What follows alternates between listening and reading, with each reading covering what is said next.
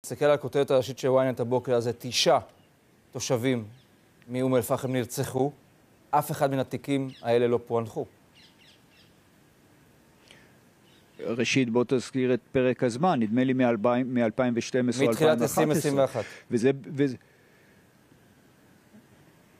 מתחילת השנה, לא, אדוני אני, השר. אני לא חושב...